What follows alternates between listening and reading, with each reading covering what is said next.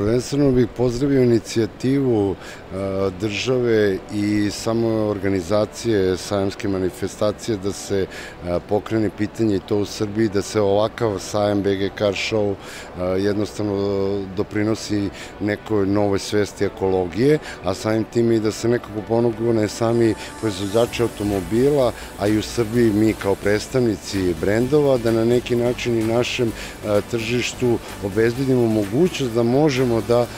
plasiramo i implementiramo svu tu tehnologiju i sve to što je već u Evropi u svetu, da kažem na neki način već daleko, daleko više u upotrebi. Ono što je veoma bitno za marku Nissan, prvenstveno je to što u Srbiji ćemo veoma brzo imati modele sa e-power tehnologijom. E-power je jedinstvena Nissanova tehnologija koja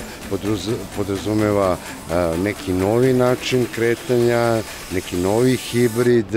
i neku, neki osjećaj vožnje samog vozača i putnika da se na taj hibridni način, i pogon vozila mogu osjećati kao da vožda električno vozilo. Ali ne samo to, nego i emisija izdruvnih gasova i sve ostalo je daleko smanjena, samim time doveli smo i neku tu kategorizaciju ekologije.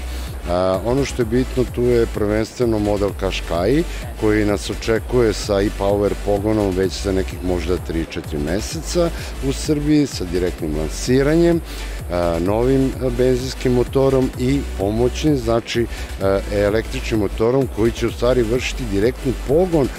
vozila sa ukupnom snagom od 190 konjskih snaga i maksimalnim obrtnim momentom od 330 Nm. Znači to je sad već neki prag koji je prešao u neku novinu primene ono što je nisam već radio i promovisao još možda ipak daleke 2016. godine na Nissan Note u Japanu, pa samim tim i druga generacija evo doživala je i afirmaciju na evropskom tržištu. Nakon toga veoma brzo iz Japana će nam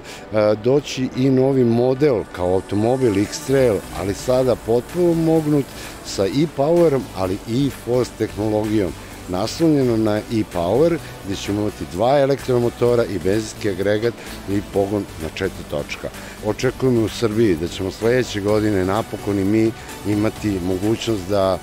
lansiramo Nissan Ariu, 100% električno vozilo i novi model Nissan Leaf. To je ono što je želja i svih naših kupaca da na kraju i u Srbiji elektrifikacija dobije neki svoj značaj, samim time i infrastruktura i sve ostalo. Mogu bih da kažem da posjećanost sajamske manifestacije koja ipak tri godine nije bila je izuzetno bilo, bila velika, znači